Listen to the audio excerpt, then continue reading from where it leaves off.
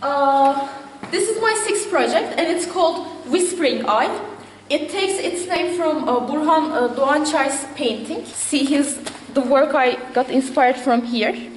Uh, this one is called Whispering Wall and it's acrylic on canvas. Uh, my work is water uh, is made using watercolors.